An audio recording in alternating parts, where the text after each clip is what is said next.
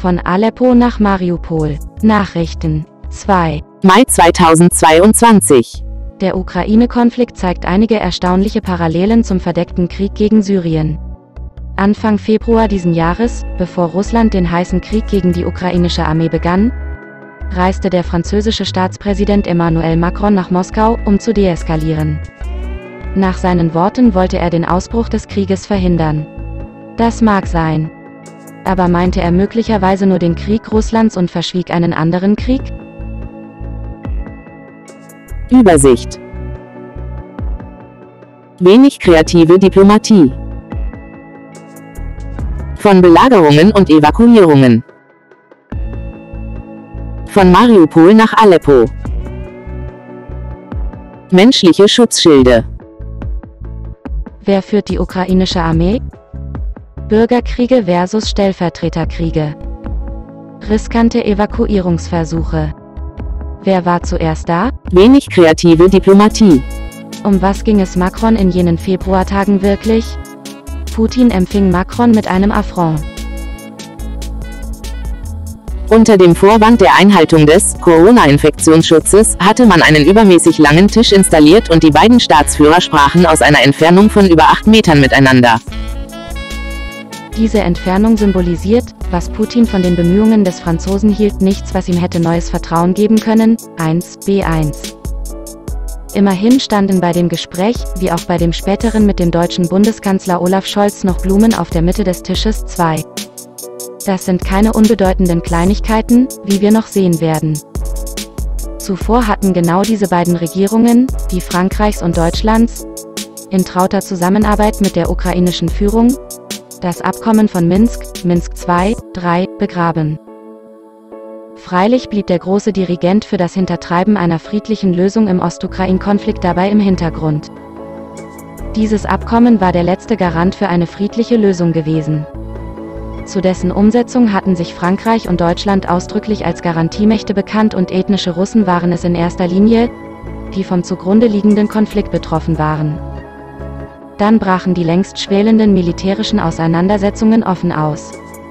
Ende März nun machte sich Macron intensiv für eine Evakuierungsmission, für Zivilisten in Mariupol, stark.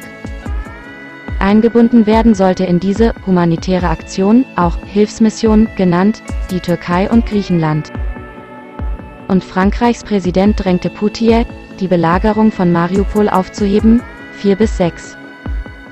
In jenen Tagen schickte Macron den Chef des französischen Auslandsgeheimdienstes DGSE, Direction Générale de la Sécurité Extérieure, in die Wüste.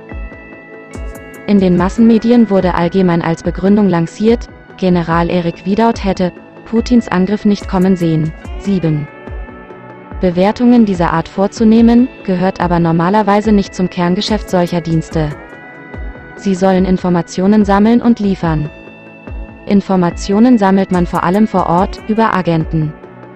Und deshalb scheint diese Meldung der Realität näher, Hervorhebung durch Autor.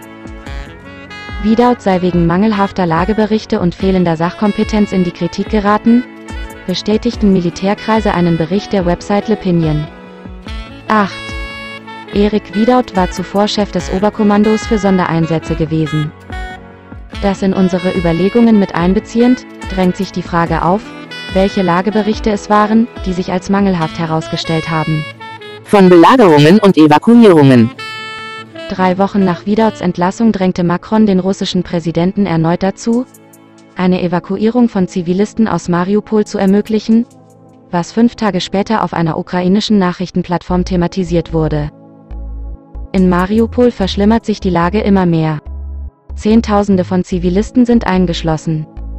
Ich fordere Russland erneut auf, das humanitäre Völkerrecht zu achten, die Bewohner aus der Stadt zu lassen und humanitäre Hilfe zuzulassen. 9. Beide, Ukrinform, mehr noch aber Macron waren und sind wohl informiert über die Lage in Mariupol. Und beide lügen. Macron weiß es mit Sicherheit durch seinen durch ihn höchst selbst geschassten Geheimdienstchef. Auch die ARD-Tagesschau log ungeniert. Immer noch mehr als 100.000 Menschen harren im Einekes selten Mariupol aus. 10. Es gab zu dieser Zeit keine belagerte Stadt Mariupol mehr und den Bewohnern stand und steht es frei, diese zu verlassen, zu bleiben oder auch in sie zurückzukehren. Warum hielt man dann trotzdem weiter am Narrativ einer humanitären Katastrophe in Mariupol fest? Einen Tag vor Macrons erneuter Initiative war aus Mariupol Folgendes bekannt geworden. In einem dramatischen Appell hat der ukrainische Kommandeur der verbliebenen Marineinfanteristen in der schwer umkämpften Stadt Mariupol um eine Evakuierung in einen Drittstaat gebeten. Der Feind ist uns 10 zu 1 überlegen, sagte Serhij Wolina, Kommandeur der ukrainischen 36. Marineinfanteriebrigade in einer am frühen Morgen auf Facebook veröffentlichten einminütigen Videobotschaft. Wir appellieren an alle führenden Politiker der Welt, uns zu helfen. 11. Wie finden Sie das, liebe Leser? Ist es gängig, dass bei einer kriegerischen Auseinandersetzung zwischen zwei Staaten, sich die unterlegenen Kämpfer in Drittstaaten evakuieren lassen können? Warum sollte der Gewinner das zulassen? Im Syrien-Konflikt hat Russland solchen Ansinnen noch zugestimmt.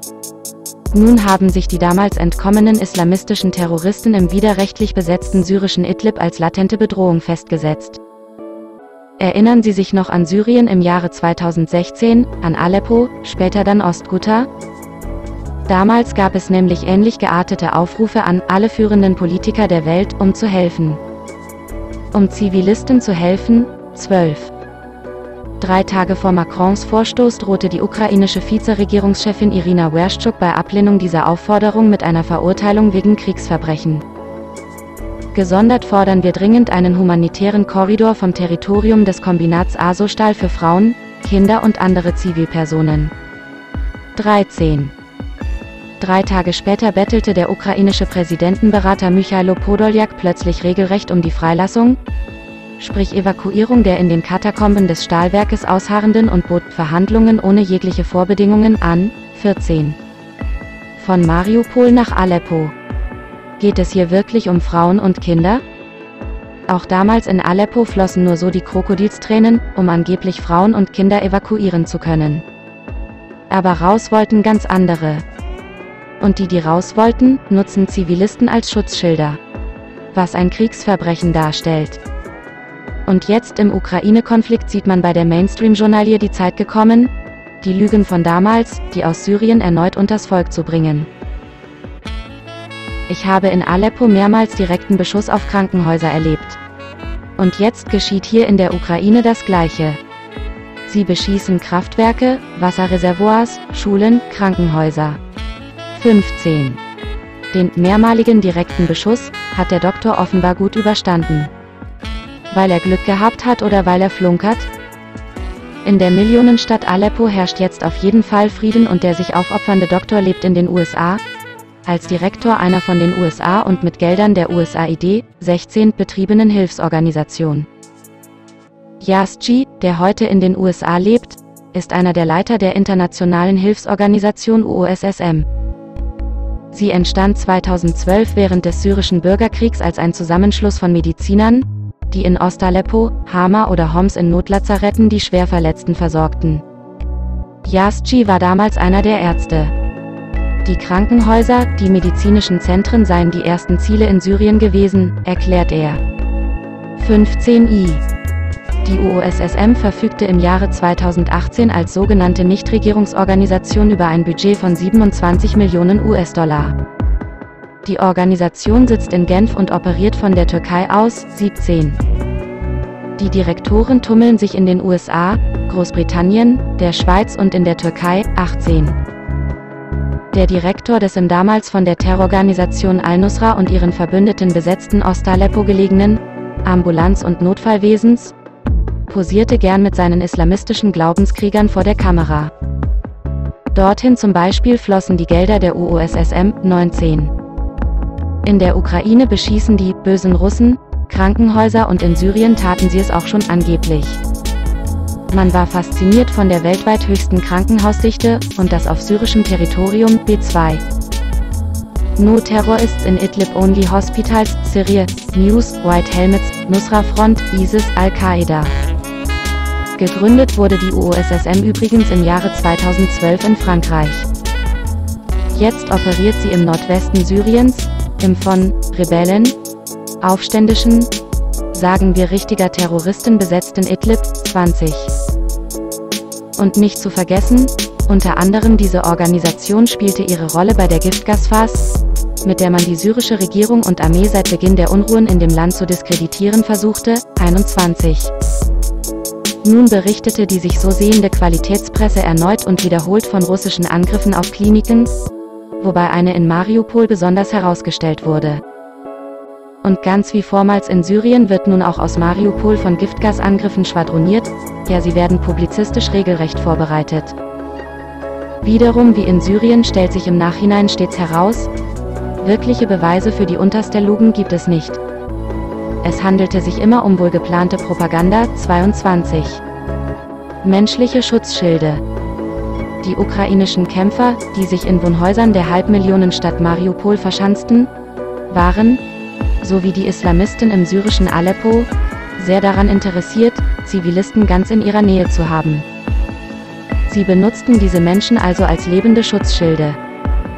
Sie, eine Familie in Mariupol, beobachteten, wie ukrainische Soldaten die Bewohner anderer Blocks in die Keller schickten, um in den Wohnungen Position zu beziehen. Sie sahen, wie die Gebäude unter Feuer gerieten. 23. Somit stellt sich dem Autor eine entscheidende Frage. Welche Motive sollen 1000 Mariupoler Zivilisten antreiben, unter erbärmlichen Bedingungen in den Katakomben eines Stahlwerkes auszuharren? so sich diese tatsächlich dort befinden sollten, was zum aktuellen Stand keineswegs zweifelsfrei belegt ist, ist ihnen nicht eher das traurige Los der Menschen damals in Aleppo und ihrer Mitbürger in den Wochen zugefallen, als Sicherheit für 2000 spezielle Soldaten zu dienen, die ihre Waffen nicht niederlegen wollen? Als die Terroristen im Jahre 2018 endgültig aus der syrischen Hauptstadt Damaskus vertrieben worden waren, stellte sich heraus, dass diese in groß angelegten Tunnelsystemen tausende Zivilisten als Geiseln und Arbeitssklaven gehalten hatten. Im besten, aber nicht gesicherten Fall sind diese 1000 Zivilisten im Komplex des Aso-Stahlwerks lediglich eine Schutzbehauptung. Aber dass sich Menschen, die nicht als Soldaten dienen, freiwillig in solch eine Situation bringen, erscheint unglaubwürdig. Es erscheint genauso unglaubwürdig, wie sich die Geschichte von Zivilisten, die in den unterirdischen Tunnelsystemen von Duma, Ostguta bei Damaskus, angeblich Schutz vor Assets-Bomben, suchten, nachfolgend als Lüge herausstellte, 24 bis 27. In syrischen Großstädten wie auch jetzt in Mariupol stellte sich heraus, dass die angeblichen Sorgen der westlichen Wertegemeinschaft um Zivilisten, um wehrlose Frauen und Kinder immer dann am größten war, wenn diese sich unter der Obhut radikaler Milizen, Militärs befanden. Ebenso wurde erkennbar, dass es in Wirklichkeit gar nicht um die Rettung von Zivilisten, sondern von Militärs ging. Vielmehr wurden diese Zivilisten als Schutzschilde missbraucht. Bei Mariupol reden wir von einer Stadt, die traditionell mehrheitlich von ethnischen Russen bewohnt wird. Die Geschichte von den Zivilisten im Aso-Stahlwerk wurde interessanterweise erst lanciert, als absehbar wurde, dass die russische und die Donetsker Armee die vollständige Kontrolle über die Hafenstadt erlangen würden. Plötzlich erfuhren wir aus den Massenmedien. Im umkämpften Stahlwerk der ukrainischen Hafenstadt Mariupol sollen Behörden zufolge auch viele Zivilisten sein. Sie hielten sich dort vor den russischen Soldaten versteckt, teilte die örtliche Polizei mit. 28. Am 26. April richtete die russische Seite zum wiederholten Male humanitäre Korridore ein, über die Zivilisten nach allen Seiten hin das Aso-Stahlwerk hätten verlassen können. Niemand kam, 29. Das gleiche gilt für Angebote an die Soldaten in Asostal, die Waffen niederzulegen, 30. Den dort verschanzten Kämpfern des ASO-Bataillons werden allerdings zahllose Menschenrechtsverletzungen und Kriegsverbrechen zur Last gelegt, was einem Großteil von ihnen zumindest eine baldige Rückkehr als freie Bürger in ihre Heimat verwehren dürfte. Was ist nun mit den angeblichen Zivilisten in den Asustal-Katakomben? Ein gefangen genommener Soldat, der aus dem nahegelegenen und inzwischen von DNR-Kämpfern, A1, übernommene Ilyich-Werk entkommen war, sprach nicht von Zivilisten, nur von Militär, von ukrainischem Militär, 31. Aber das ist ein anderer Komplex als Asustal. Letzterer ist unter anderem durch seine Anbindung zum Hafen von strategisch viel größerer Bedeutung. Wer führt die ukrainische Armee? Am 16. April nahm die russische Seite einen britischen Söldner namens Sean Pinner fest, der in Mariupol im Einsatz gewesen war. Zuvor hatte man bereits den Briten Eden Aslin gefangen genommen. Beide Söldner, welch interessante Parallele sich doch erneut zu Aleppo auftut, hatten zuvor in Syrien ihr Geld verdient. Aber die Biografie der beiden Männer deutet darauf hin, dass sie außerdem für den britischen Geheimdienst tätig und als Söldner sozusagen, embedded, eingebettet in militärische Einheiten tätig waren, 32. Zudem ist es nicht egal, ob diese Männer nur Söldner oder reguläre ukrainische Soldaten waren. Dann müssten sie schließlich auch ukrainische Staatsbürger sein. Was aber ist mit der Variante, dass sie als reguläre Soldaten ohne ukrainische Staatsbürgerschaft auftraten?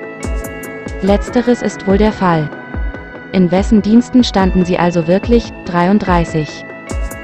Diese Leute und die sie beklatschenden Medien haben offenbar auch ein gestörtes Rechtsverständnis.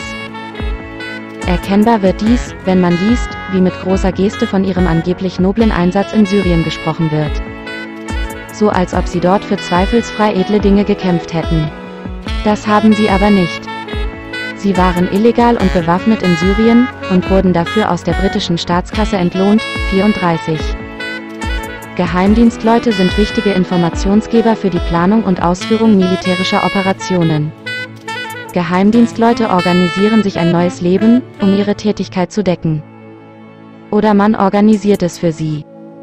Die beiden Briten sind Bürger eines NATO-Staates und haben im Ausland an sehr speziellen militärischen Operationen teilgenommen. Wir sollen ernsthaft glauben, dass diese Männer in den vergangenen vier Jahren ihre Liebe zur Ukraine entdeckt haben und zu Glaubenskämpfern für ihr neues Vaterland, dessen Staatsbürgerschaft sie nicht einmal besitzen, mutiert sind? Da ist die Vermutung, dass es sich hier um britische Geheimdienstoffiziere handelt, doch deutlich naheliegender. Wenn dies der Fall sein sollte, sind diese Leute im Auftrage eines NATO-Staates in Mariupol aktiv gewesen. Wie viele ausländische Kämpfer mit und ohne ukrainische Pässe, die von sich behaupten, ihre Familien zu verteidigen, wird man wohl noch in Mariupol aufspüren? Man fand dort vor kurzem auch die Pässe zweier gefallener US-Söldner. Nur muss auch hier die Frage erlaubt sein, ob es sich nicht eher um Geheimdienstleute handelt, operativ in Mariupol eingesetzte Militärs, die im Auftrage eines NATO-Staates agierten, B3. DNR-Militärs überwachen systematisch den Funkverkehr der eingeschlossenen Kämpfer.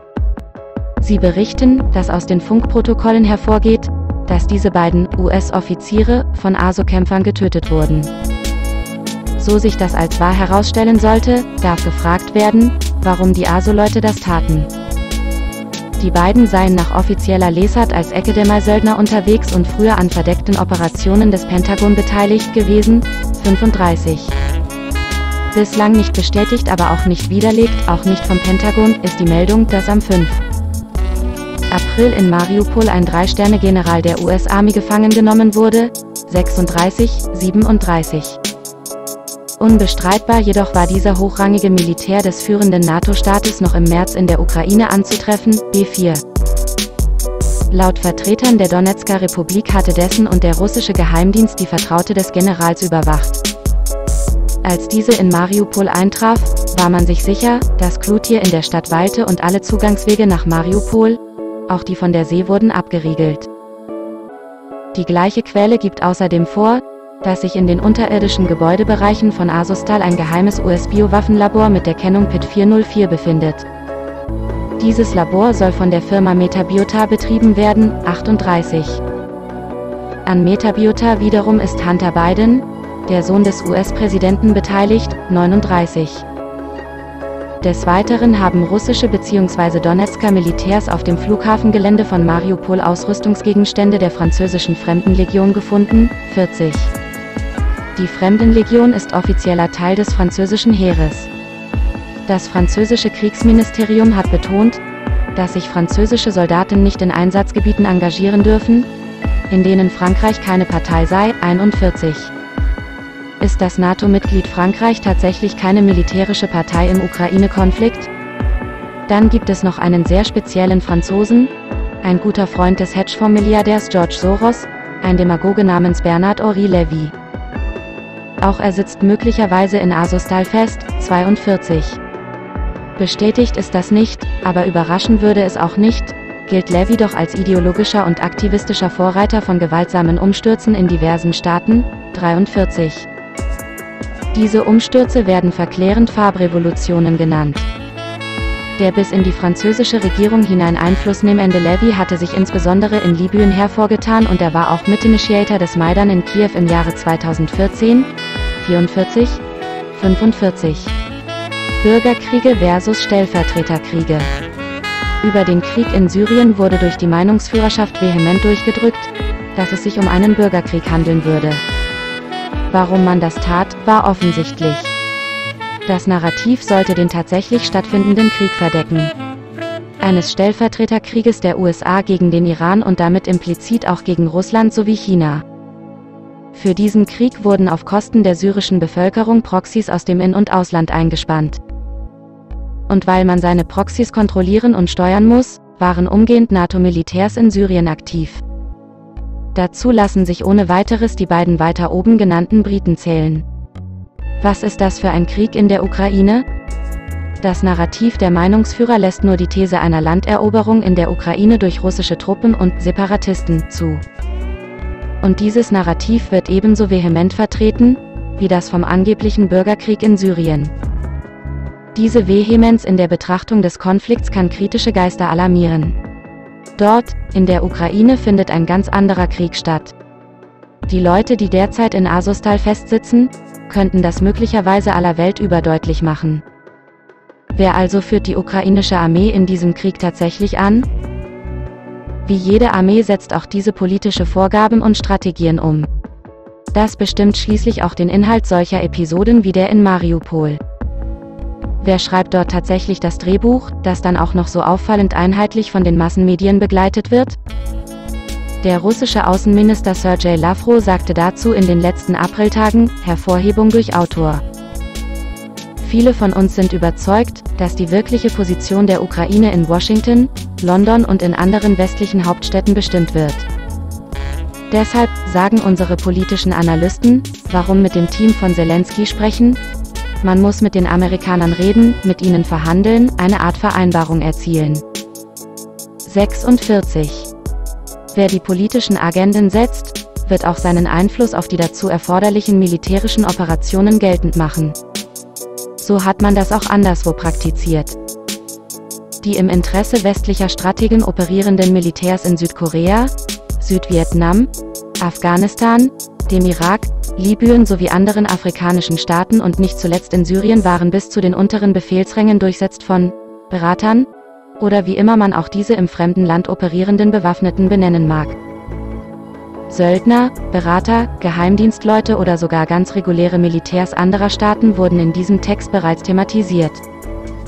Sie kamen aus den NATO-Staaten Großbritannien, Frankreich und den USA. Französischen Quellen zufolge sind vor Tagen im westukrainischen Lwów auch bis zu 100 Spezialkräfte der britischen SAS, Special Air Service, eingetroffen. 47, 48. Es riecht an allen Ecken und Enden nach NATO in der Ukraine. Reguläre ukrainische Soldaten werden nach und nach ersetzt nicht nur durch nationalistische Kämpfer aus dem rechten Sektor, sondern zunehmend auch durch ausländische Söldner. So sollen unter anderem 3000 Mitglieder der Grauen Wölfe, einer faschistischen Organisation in der Türkei, über Polen in die Ukraine eingereist sein, um an den Fronten im Osten eingesetzt zu werden, 49. Auch die Türkei und Polen sind Mitglieder der NATO. Ein französischer Journalist des Fernsehsenders C-News interviewte ukrainische Soldaten, von denen er erfuhr, dass in Mariupol Militärs aus NATO-Staaten das Sagen haben. Französische Spezialkräfte, die zuvor in Syrien aktiv gewesen seien, wären nun in Mariupol. Die Befehlsgewalt läge allein bei US-Offizieren, 50. Riskante Evakuierungsversuche. Der ukrainische Präsident Zelensky hat den ukrainischen Soldaten in Mariupol faktisch verboten, die Waffen niederzulegen. Die ASO-Kämpfer sollten sogar bis zum letzten Mann kämpfen, 51. Gleichzeitig hat es wiederholte Versuche gegeben, die dort festsitzenden Eliten rauszuholen. Dabei handelt es sich einerseits um führende Köpfe des ASO-Regiments, aber vermutlich auch um internationale VIP. Sehr wichtige Personen anderer Art mit militärischem Auftrag. Schauen wir nun noch einmal auf die eingangs erwähnten diplomatischen Vorstöße des französischen Präsidenten Emmanuel Macron, humanitäre Korridore in Mariupol einzurichten. Und zwar just in jener Zeit, in der aus der belagerten bzw. umkämpften Stadt Mariupol zwei belagerte Industriekomplexe in Mariupol wurden. Als deutlich wurde, dass es dort um zwei militärisch genutzte Industriekomplexe ohne zivile Besiedlung ging. Als klar war, dass bei allem Leid dort eine drohende humanitäre Katastrophe nicht gegeben war. Wo keine Zivilisten, dort bedarf es auch keiner humanitären Korridore für Zivilisten. Aber genau solche wollte Macron plötzlich haben. Nicht genug, sollte der von ihm vorgeschlagene Korridor auch noch extraterritorial verlaufen und außerdem unter internationaler Kontrolle stehen. Das hatten wir schon mehr als einmal, zum Beispiel in Syrien. Die Not muss groß sein in Frankreich und möglicherweise nicht nur dort. Am 28. März versuchte ein Mi-8 Hubschrauber, vom Asowschen Meer kommend, den Aso-Komplex zu erreichen. Er wurde fünf Kilometer vor der Küste abgeschossen. Ein über dieser Gegend operierendes ukrainisches Kampfflugzeug vom Typ Su-25 wurde ebenfalls vom Himmel geholt und könnte im Rahmen dieses Entsatzversuchs aktiv gewesen sein. 52 bis 54. Einen Tag später telefonierte Macron mit Putin und schlug diesem die weiter oben beschriebene Evakuierung der besonderen Art vor. Drei NATO-Staaten, Frankreich, die Türkei und Griechenland, wurden als angeblich neutrale Dritte vorgeschlagen, um diese Evakuierung, zu beaufsichtigen, 5i, 6i. Zwei Tage später versuchten erneut mehrere ukrainische Hubschrauber die eingeschlossenen Kämpfer im Azostal-Komplex zu erreichen. Zwei von möglicherweise fünf Helikoptern zerschellten nach Raketentreffern. Es wurden drei Überlebende gefunden, von denen einer im ukrainischen Nachrichtendienst sowie als Ausbilder tätig war. Ein anderer war Mitglied des ASO-Regiments 55-56. Laut ersterem stand die Rettungsaktion unter der direkten Ägide des ukrainischen Geheimdienstes, 57. Am 5. April schlug der nächste Versuch fehl. Auch weil nun seitens der russischen und Donetsker Streitkräfte die Luftüberwachung verschärft worden war. Erneut wurden zwei Hubschrauber abgeschossen, 58, 59. An Bord der Helikopter sollen sich auch zwei Offiziere des französischen Geheimdienstes, sowie Söldner aus Südafrika, Tansania und Marokko befunden haben, 60. Erst nach diesen Ereignissen berichteten die Medien plötzlich von Zivilisten, die angeblich in den Katakomben von Avostal Schutz suchen würden. Seitdem wird diese Geschichte unentwegt von der Meinungsführerschaft weiter am Köcheln gehalten. Skurril mutet der Rücktritt eines populären kanadischen Generals an, der im gleichen Zuge bekannt gab, sich als Privatmann, nun in der Verteidigung der Ukraine gegen die russische Invasion zu engagieren. Achten wir auf das Datum des Rücktritts. Es war der 5. April 2022, 61. Ausgerechnet zu jener Zeit, in der geradezu selbstmörderische Versuche zur Evakuierung von Militärs aus dem Asostahlwerk bekannt wurden. Nun wird er genau dort vermutet, 62. Am 26. April sprach Antonio Guterres beim russischen Präsidenten vor. Die russische Regierung ist inzwischen nicht mehr übertrieben nett, wenn Vertreter des Wertewestens mit Forderungen antreten. Eingangs hatte ich auf den übermäßig langen Tisch hingewiesen, an dem Macron und Scholz platziert worden waren. Auch Guterres durfte an diesem Tisch konferieren. Aber in einem bemerkenswerten Detail unterschied sich das Arrangement B5. Auf dem Tisch standen keine Blumen mehr. Was nun lag dem UN-Generalsekretär laut offiziell zu verkündender Meinung am meisten auf dem Herzen? Ein humanitärer Korridor aus Azostal muss her. Als ob es diese zuvor nicht schon mehrfach gegeben hätte. Der russische Präsident hat das zwar begrüßt. Gern wird Russland ein weiteres Mal Zivilisten, so sie sich dort tatsächlich befinden sollten, ermöglichen den Komplex zu verlassen, 60. Sogenannte humanitäre Korridore, auch in Richtung der von der ukrainischen Regierung kontrollierten Gebiete, werden fast im Tagesrhythmus von der russischen Seite geöffnet, 63. Andererseits lässt sich dieselbe Seite beim Thema Asostal nicht für dumm verkaufen.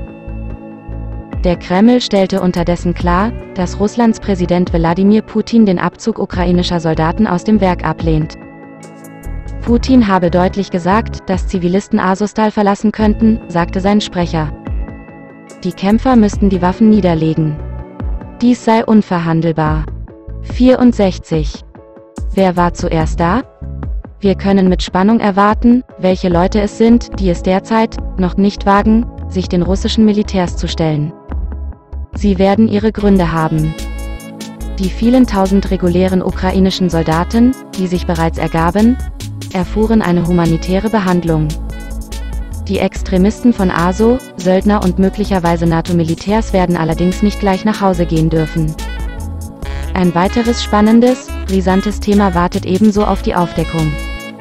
Nämlich inwieweit und wie lange Azovstal als NATO-Außenstelle und zusätzlich für die Biowaffenforschung umfunktioniert worden war.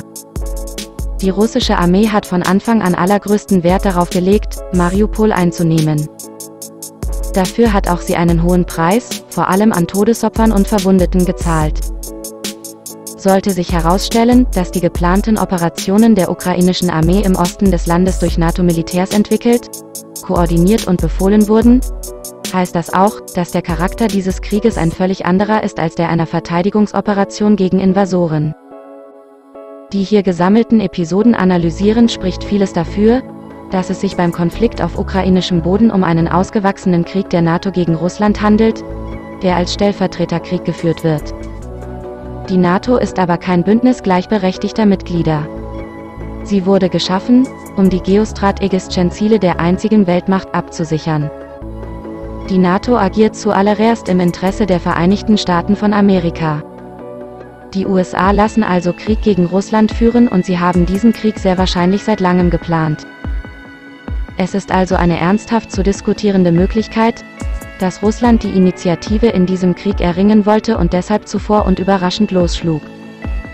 Und genau das könnte zum Beispiel Macron geschwant haben, worauf er Anfang Februar plötzlich intensiv den Kontakt zur russischen Führung suchte, siehe Beginn des Artikels. Die Ukraine ist kein Mitglied des NATO-Paktes, formal. Aber faktisch ist sie es und das schon lange. Die ukrainische Armee und die in diese eingebundenen Milizen stellen inzwischen eine NATO-Armee dar. Genau das war die rote Linie, vor deren Überschreitung Russland eindringlich und wiederholt gewarnt hatte. Wenn sich herausstellt, dass Mariupol bereits seit Jahren eine verdeckte Kommandozentrale der NATO beherbergte und Russland davon Kenntnis bekommen hatte, dann muss man auch das russische Vorgehen in einem anderen Licht betrachten, als dem eines auf Landnahme erpichten Invasoren haben deshalb Frankreich und Deutschland dafür gesorgt, dass Minsk II sabotiert wurde? Der Punkt 10 dieses Abkommens lautet nämlich, Hervorhebung durch Autor. Abzug aller ausländischen bewaffneten Formationen, Militärtechnik und ebenfalls von Söldnern vom Territorium der Ukraine unter Beobachtung der OSZE. Entwaffnung aller gesetzwidrigen Gruppen. 65. Ausländische bewaffnete Formationen, schließt selbstverständlich jedwedes Militärpersonal aus NATO-Staaten unmissverständlich mit ein. Die Geschehnisse, und zwar nicht nur die in Mariupol, zeigen uns daher sehr praktisch die systematische Verletzung von Minsk II durch NATO-Staaten, 48i. Bitte bleiben Sie schön aufmerksam, liebe Leser. Anmerkungen und Quellen. Allgemein, dieser Artikel erschien zuerst bei Pets Ansichten. Er ist unter einer Creative Commons Lizenz Namensnennung nicht kommerziell, keine Bearbeitungen 4.0 international lizenziert. Unter Einhaltung der Lizenzbedingungen, insbesondere der deutlich sichtbaren Verlinkung zum Blog des Autors, kann er gern weiterverbreitet und vervielfältigt werden. Bei internen Verlinkungen auf weitere Artikel von Pets Ansichten finden Sie dort auch die externen Quellen, mit denen die Aussagen im aktuellen Text belegt werden. Letzte Bearbeitung 1. Mai 2022